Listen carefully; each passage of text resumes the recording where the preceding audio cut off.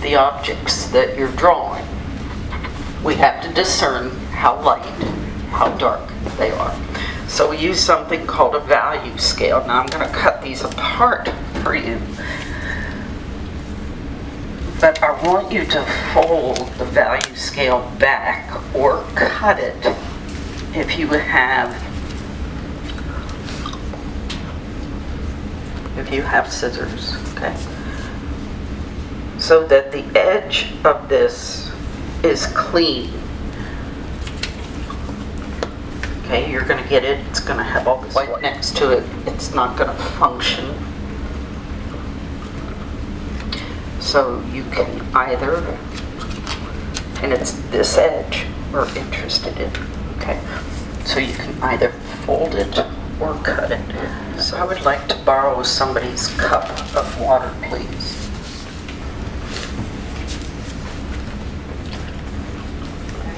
Uh, don't go get them laminated. You need the you need the raw paper surface will work best for you. Okay.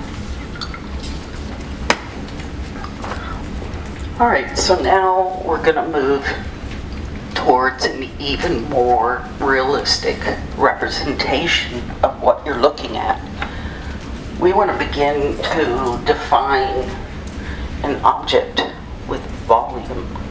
Okay, so we're going to use the techniques we've been doing. Okay, we're going to draw the same way with the brushes and the sticks. And if you've got a bamboo pen, we're going to be drawing the same way. But I'm going to show you how to apply value. Okay, and the grayscale that I just gave you is for the second half of the class. We're going to do some drawings the first half of the class just to get used to the materials, okay? And we'll set some subject matter up. It'll be a little bit different than what you've been drawing, okay? And uh, so here is, here is my grayscale that I use. And I'll show you how to do that the second half of the class, okay? But from now on through the rest of the semester, okay, now you've got a viewfinder, right? You've got the larger viewfinders up here still. If you want to use these, okay, you can put them right on the subject matter. That helps. We've got a grid, okay. We've got a grayscale. Okay, so you need all those tools every class, and you need all those tools for your out-of-class drawing. So you may decide you want to use a gridded piece of paper as well as your see-through transparent grid for your out-of-class drawings. You may want to draw them in pencil first, and then you may want to use whatever the media of choice is for that assignment. Okay? So, we're going to begin to discern the value of what we're looking at. And what value will help define is three-dimensional uh, form, roundness, the fact that it is flat. Because there are three basic, simple values to everything that we see. Lightness, midtones, and darkness. Okay, so we put the heavier dark values at the bottom of the value scale. And we gradually change to mid-tones, and then we gradually change to lighter values. This is also referred to as high key, low key. Okay. This indicates that that area is receiving light.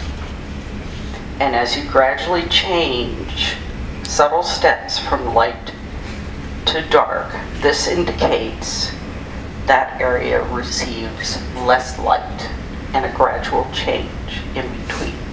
The more abrupt the change, the flatter your space, the flatter your object.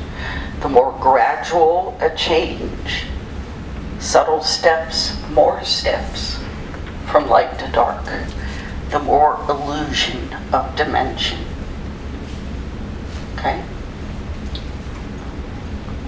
That's an important formula. But the first half of the class is going to be this. With your brushes and your sticks.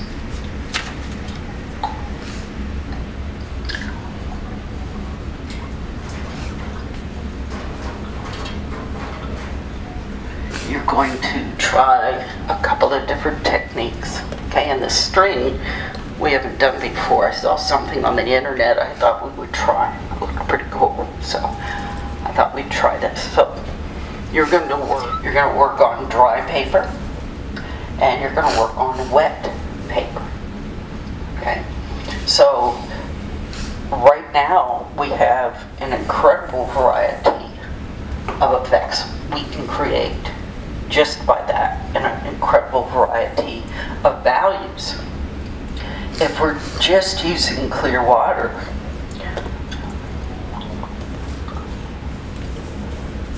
and you've got a wet surface, I can do something called spot wetting.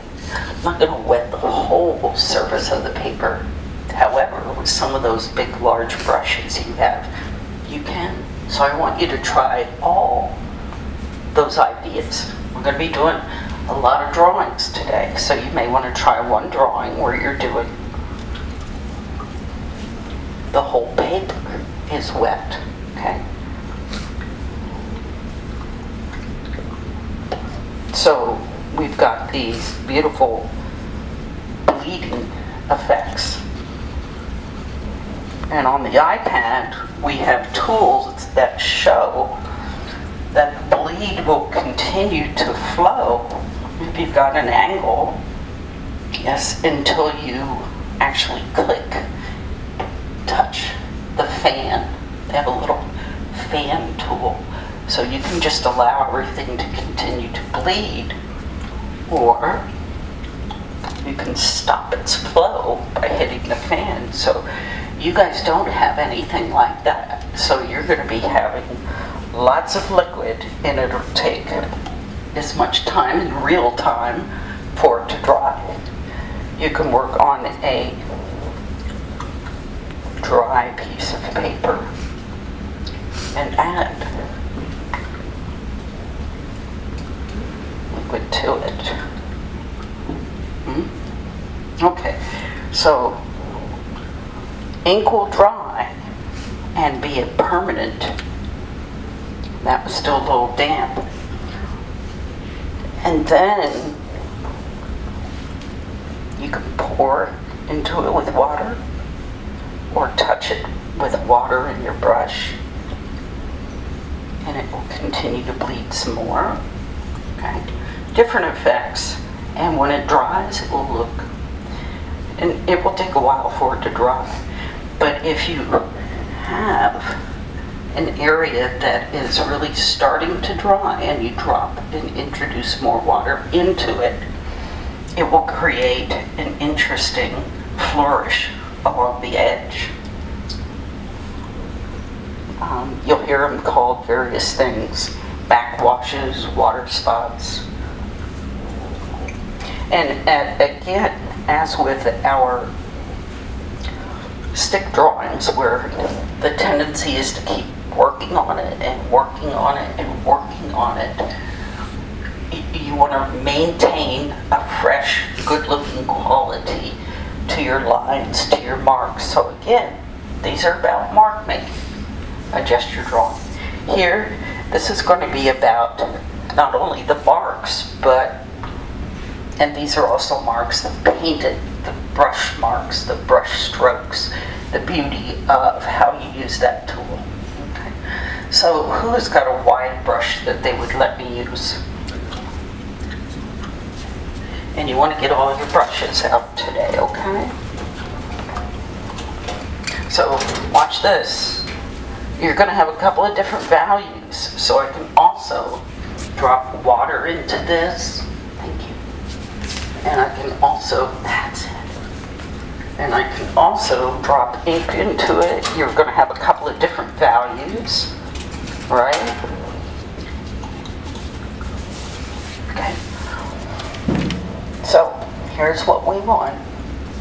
I want you to spend just maybe five minutes exploring your tool away from that pencil clench. Is because these are, again, shoulder, okay, not wrist drawings.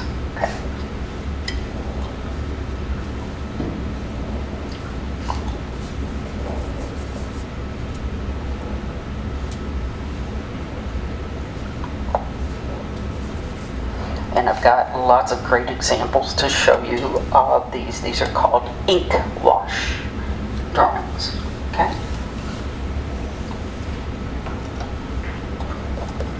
And you may draw these exactly the same way we have been working. Left hand, right hand, blind, left hand, blind, right hand, okay? Half-sighted, half-blind, start one-sided, finish it blind, can manage that, okay?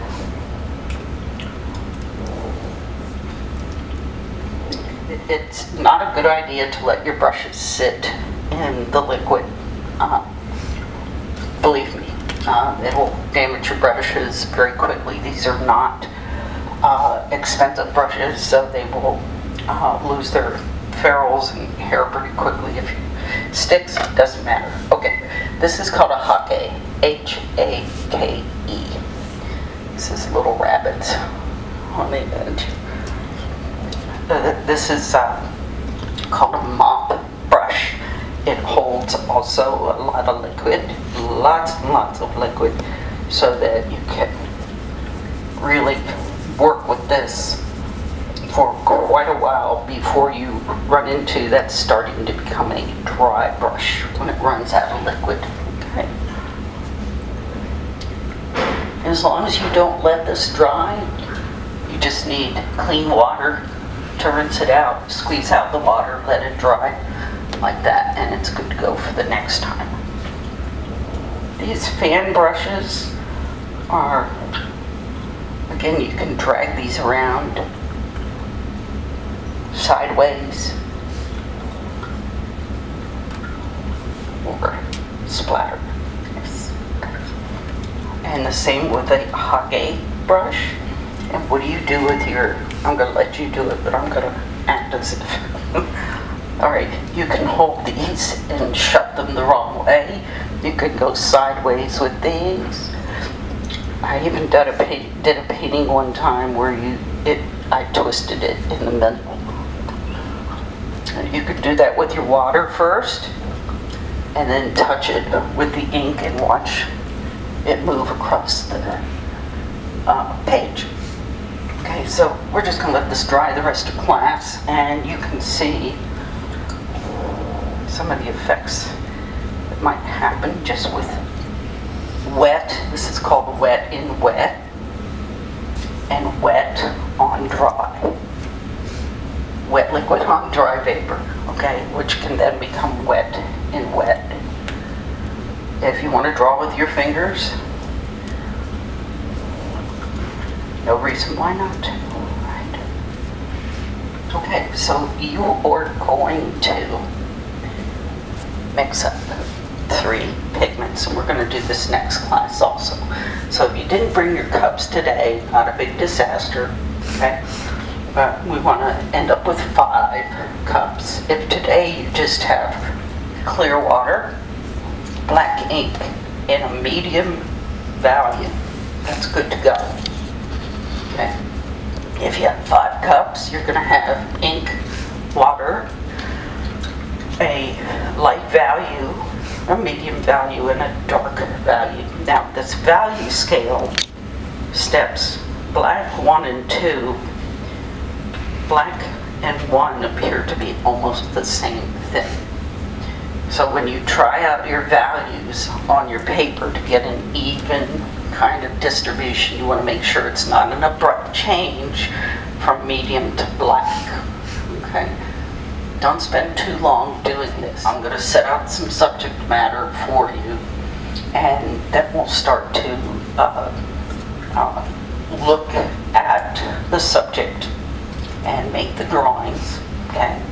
And so play around with this for a little bit. At 3 o'clock, I'll stop you, I'll show you the examples. Okay? And I'll have the subject matter set up for you, and you can begin to draw the objects, questions. So, uh, why are we using the lights? Anybody know? Yeah, makes great shadows.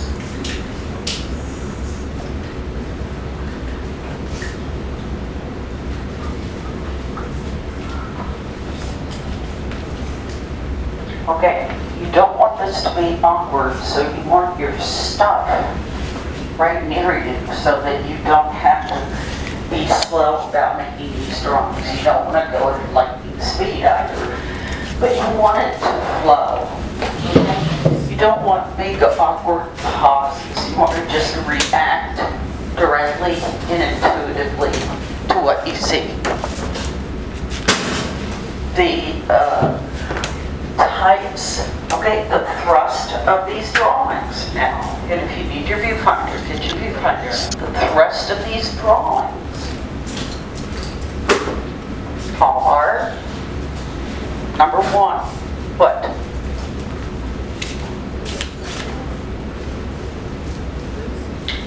Okay, your looseness, what does that, what does that describe? Your looseness describes the motion which makes the the gesture, the mark. Okay, it's the quality of your marks. Okay, there's an intrinsic beauty in the way a pigment and a tool lay on a piece of paper, a piece of drawing paper. Okay? That's what we're looking for. And what else? What else? Hmm? Quality of mark.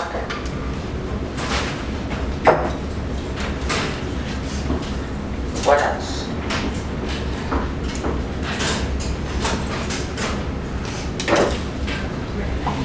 Recognizability. Okay? Recognizability. There's still beautiful marks, gesture. What is the consequence of good gesture drawing?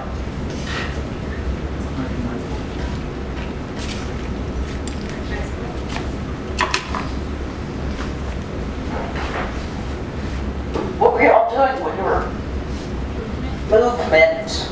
Okay. Quality of mark. Movement. What was the third thing? Recognizability. Okay. In the real world, we would call this abstraction. That's kind of a scary word. so we're just going to call it gesture. Keep the marks fresh. So I want you to look at your drawings while you're making them initially. And I want you to contrive beautiful marks that are describing your objects. This is what I wanted to show. Okay, I've got some examples to show you. So I'm going to let you draw until 4 o'clock in this fashion. Just three simple values. Make a full composition. You are doing an object within a context. Another way of speaking about this is figure slash ground. Okay? You are never just drawing an object floating in the middle of a void. I'd say that is the biggest collective undergraduate art major issue.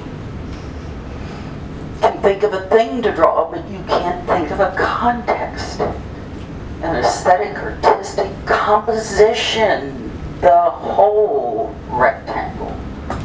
Okay? We had an artist um, last fall do an exhibition of assemblage, and she cleared out our, our thank goodness she cleared out our uh, prop room. We had a gar skeleton. Anybody know what a gar is? Anybody been out to the lake? Yeah. so. Now there's some extra drawing tool used in that drawing and this drawing. Is anybody noticing what that is? Is it chunks? white chalk on top of dense, dark material. It's a nice white line, but you do that when it's dry. Here's a portrait.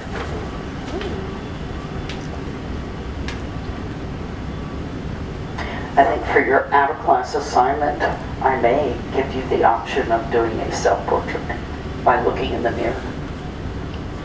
This was uh, somebody in class. Okay, so birds with a little more pizzazz.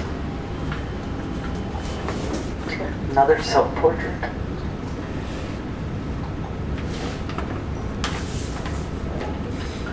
I was looking for my vacuum. This was my first vacuum cleaner that I bought at resale for $35. It's very funky, royal. It's not in the room anymore.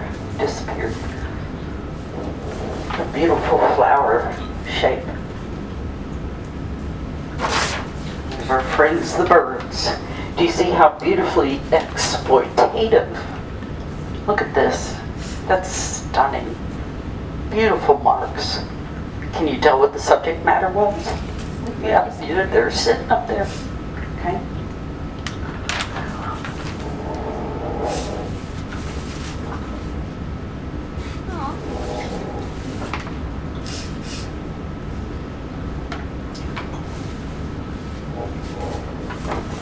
What is it called when we don't draw the object, but we call the space? What is that called? Negative space. Negative space. Beautiful. Try some negative space drawings. Scale. Okay.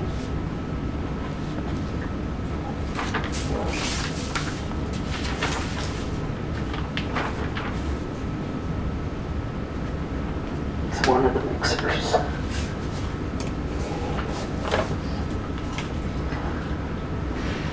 just some plant forms, some seed pods. Here we've drawn mostly the negative space. Okay. All right, so simple values here, a simple three, got black, white, and one to three values in between. If you just have one medium value, that's a lot of power to create figure ground. You must show the figure is dominant, the ground is subordinate. Even if we do a negative space drawing, figure is dominant, the ground is subordinate. Figure is dominant, the ground is subordinate. Do you have to have a black contour line showing for your object? Nope. Okay. Try doing it without line at all to describe your, here's another beautiful figure doing, if they're too dark, you can add, hmm, what kind of line? Chalk, white, which is white line, right, reintroduce white line, don't make it overdone, overworked. You can tell a little goes a long way, okay? Let's put those. Okay, and what you might want to do is move down because you're not going to be able to see the examples I'm holding up here. Okay, in class, the subject we're going to transition to and that you'll need to include in your in-class drawing and for your out-of-class drawing, which is going to be ink wash with uh, a mirror included, okay? And you want to make sure that the mirror is part of your subject, but it's incorporated into your landscape environment as if it were a body of water, okay? First thing I'm going to show you is our examples. Okay, so we're going to use paper bags as our subject. Uh, We're going to let the origami up there, and we're going to let the fruit up there. Everything else, we're going to uh, uh, remove uh, most of that, so that at this point, we're gradually working our way back to a more and more descriptive, specific type of rendering. Remember how we started out the semester with the contour? Okay, so we're going to notice subtle changes in value, changes from lightness to darkness. Okay, and I'm going to show you before we're done today uh, with my demonstration how you discern lightness and darkness with this value scale. I didn't show you how to use that last class. Okay, uh, then we're going to uh, talk about your ink wash process. Okay, so first let me show you examples of ink wash that describes that something has three dimension and volume, which is the opposite of flat. Okay, so the more tools we have available to us, now we have value, okay? the more tools we have available to us, the more ability we have to create that illusion or that sense or the visual appearance of volume, of mass, of weight. What really is significant in creating weight of an object? The darkness? The darkness? Yes. Any particular part of the subject that Shadow? shadow. Exactly. So if you have an object, to keep it from floating in the middle of the ether or the void, you must give it weight and volume. And part of that is, yes, you show that it has light, and if it's got dimension, there are parts of that object that don't receive what light. So they're going to be darker. Okay? That's just the nature of appearance. So you will have light, you will have midtones, and you will have dark. And part of the dark that creates the grounding is the shadows. Okay? And the shadows underneath an object there isn't just one value to that shadow. I want you to look closely. And again, you can scooch up closer to that subject matter if you want to, but you're going to see double, triple, quadruple shadows, where the shadows are coming from different directions because there's multiple light sources up there coming from multiple different directions. We've got them coming from all four directions up there. So you're going to have maybe up to four shadows overlapping. And that just becomes delicious stuff to draw. Beautiful stuff. And I want you to see. Shadows aren't black, are they? No, they're not. They're just a little bit darker than the surface the shadow's being cast on. Okay? So that's why you have the ability now to do this range of white of the paper, black of the ink, and you have a range of grays in between. The gray that you mix up is going to be a different value on dry paper than it is on wet paper. So there you've got you've got five values. Whether it's on dry or wet gives you five extra values. Okay? So you, you don't have to mix up 10 cups of fluid. You only have to mix up three. Okay? So that the values that you have three cups for, of course, you've got clear water, paper white, you've got solid ink, and then you have those three transitional values that are gradual change in between. Okay? So this is a 10-step value scale that I gave you. Okay. So high key means Like, light. Low key means dark. Good. So we have this example, and this is a lot to draw.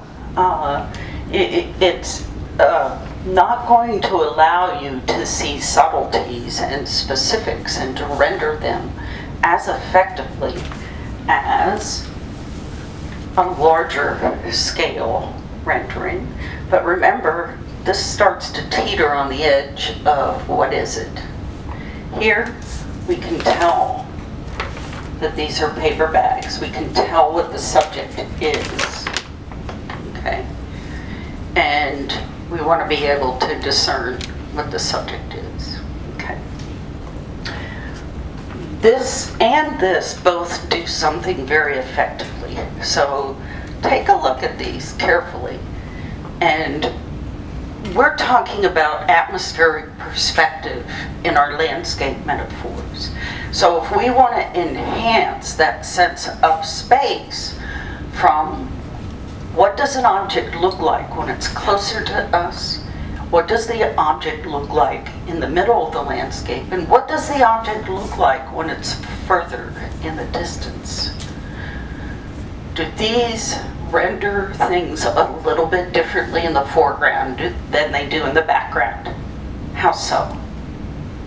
like from far away, you kind of see things blurry and less detailed. Less detail in the distance, okay? What else? It's lighter, okay, especially here. Okay, things in the distance are the lowest contrast. So if you have a white sky or a light sky, things in the distance will be closer to it on the value scale. So light grays. If we had a black sky, what would the objects in the distance be? Darker. dark gray, yes, medium gray. The lowest contrast. So when I say low contrast, I mean very little difference in values. So anything close to each other on the value scale is low contrast. The highest contrast, which is in the foreground, would be what values? Black and white. Black and white, that's the highest contrast you can have. It could be darkest gray and lightest gray, that's still high contrast. Okay, but you would not find that in the background. Foreground, high contrast. Middle ground, what kind of contrast do you think? Yes, medium contrast, so that would be maybe three-step gray and seven-step gray. A light gray and a dark gray. Not as high contrast as black and white. And then in the background, it might be two values directly next to each other on the value scale, okay? So it's high contrast to medium contrast in the middle ground to low contrast in the background, okay?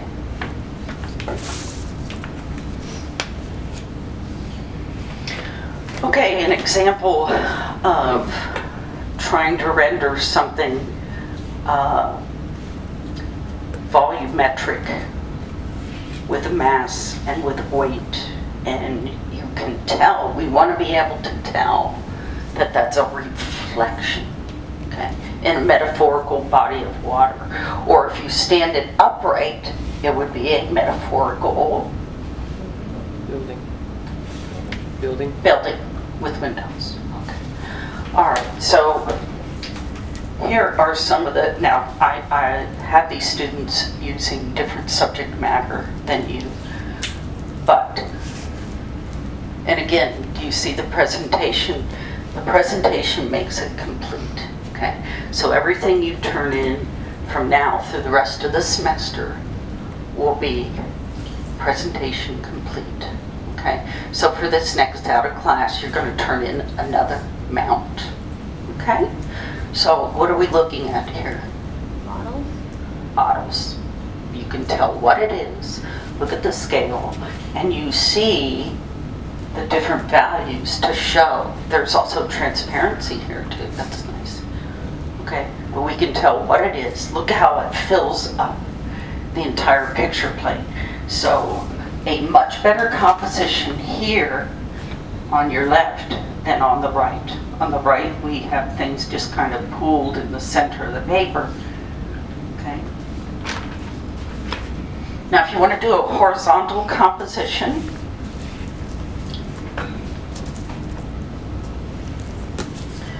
uh, if you have to trim your drawing down a little bit, if you have to trim a little off the bottom, uh, somebody told me that the uh, uh, board isn't big enough to mount a horizontal. Uh, It is if you trim your drawing down a little bit. So if you have to trim it down to get the two inches down here horizontally, then that's what you'll have to do, okay? You'll probably, the rest of the semester, especially when we do our maths, you'll have to trim your drawings down to be able to get things to fit together, okay? Do we So- just trim one dimension? whatever needs to be trimmed, just brushes. So we call that a painterliness, and this paper that you're using is exploiting the medium beautifully, okay, if you let it. And some of you are really forcing those brush strokes on there. Remember, I suggested everybody use more fluid. Allow the paper and the pigment, the liquid pigment, to interact naturally. Allow them to do what they're meant to do and let it alone. Don't force it with your brush strokes so much, okay? So look at this, this beautiful integrity of media effects. Really pretty. Uh, up here, not so much. Okay? Up here, a little too forced with the brush strokes. But this does not keep it from being representational and recognizable. Okay? So allow that fluidity to carry through. Okay, here's uh, kind of what we've been doing again. Uh,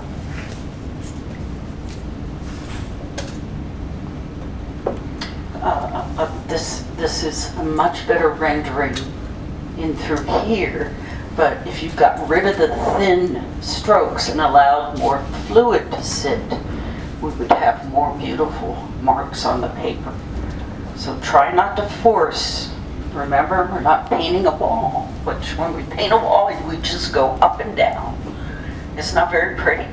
No, we just want even uh, looking wall. But when we're painting a drawing or a painting, we want beautiful strokes, beautiful uh, exploitation of media effects. Okay, liquid fluidity.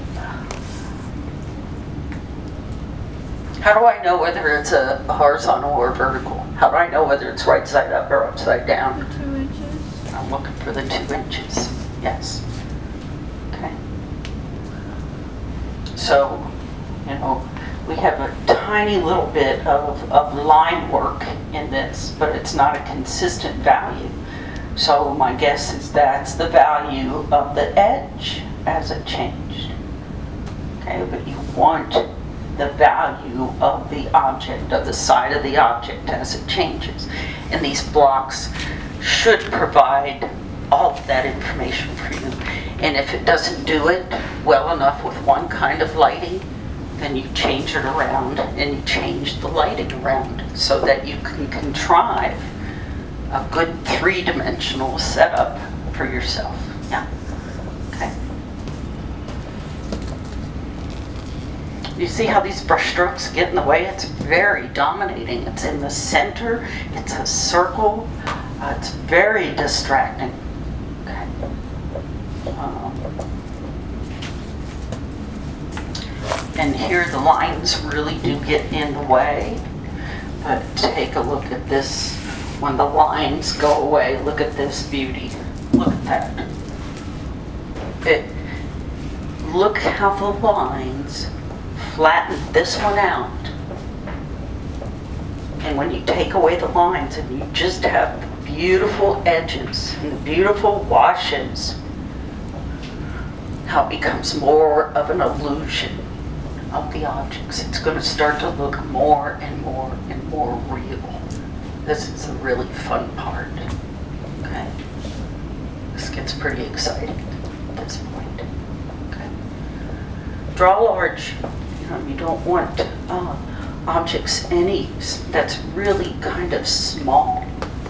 Okay? Really kind of small. This is a good size. These are good sizes. You can even draw larger. There's an awful lot to do. Okay? But don't go so big that we, again, can't tell what it is. Stand back away while you're doing it. Stand back away, stand back away. And because you have to work on it flat, and you can't stand it up until it's dry. You may have to, for example, lay it on the floor and stand on top of a chair or desk to look at it. Get on your top bunk, look at it on the floor, or something like that. Okay? All right, so any questions about your outside of class? With your grayscale, and remember you're going to use, is your grayscale folded over or cut on the edge? Mhm. Okay, this is how you're going to determine what value your object is that you're looking at. Of course, when you hold your grayscale and you look at your object, you're going to have to shut one eye, right? And you are going to have to squint with the other one. So, to be able to tell. So, Kiana's shirt you want to move your grayscale through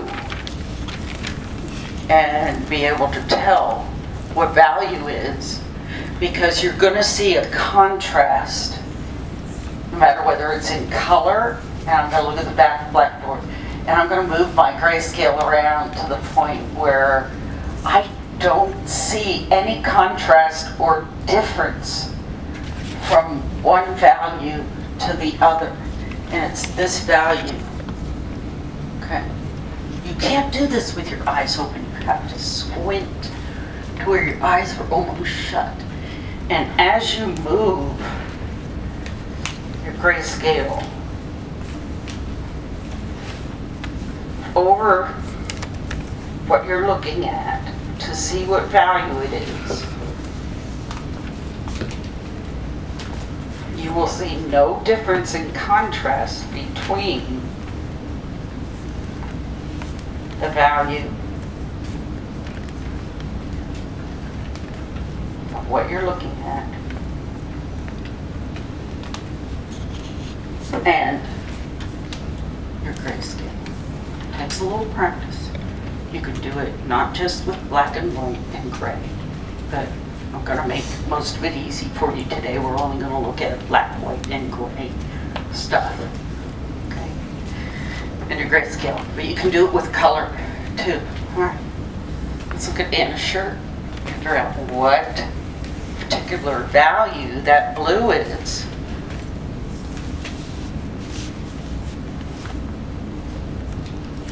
And on my grayscale, her blue is this value. That's where I see no difference between the blue and it's, it loses an edge there. It just all melts into one big value. So when that edge disappears and you see no contrast and it all looks like one big value, that's the value it is. And that's how you tell, okay? Everybody in the world, in all of art history has done it this way. able tell what value it is. Okay? All right. And then you use that value in your drawing. Okay, so that's how grayscale works. Why do I want, this is the reality check tool. Okay? I don't want you guessing at it. That's your left brain getting in the way.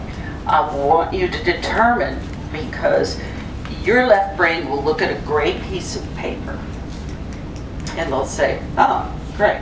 Or they'll look, your left brain, your left brain will look at a white piece of paper and go, well, that's white. No, it's not. It's got light grays in it, and it might even have dark grays down in here, depending on how much light is not getting to it. Okay, and again, we looked at that black piece of origami, right? We know it's a black piece of paper, but it's not. Okay, so if we were to figure out what value that particular piece, part of the origami is that's receiving light, it's gonna be up in here. It's gonna be up in here, depending on how much light it's getting, okay? All right, so your left brain will tell you it's black.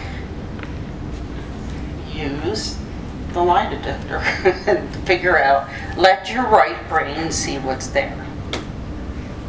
Okay, I think that's all the demo except for this. And so now I'm gonna switch over to the desktop and I wanna show you what this handout is about, okay? It's a way we gradually get to dark. So we call it working light to dark. Okay, so I'm gonna get a piece of paper and I'm gonna borrow somebody's board and somebody's values, and I'm gonna show you how you gradually work to light to dark. So that's what this handout is showing you. It's showing you, and you can use a pencil if you want to, to gesture in the composition. You work with an entire composition, okay? You don't work on one little apple and finish that little apple from start to finish in your composition. And the rest of the paper is white. That's not how we do it. We first establish a composition, and again, you can do that with pencil, okay?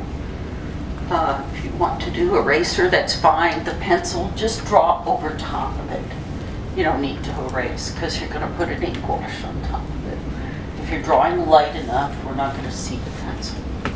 Okay, so you can see that this example moves from first step, second step, third step, fourth step. It gradually gets dark.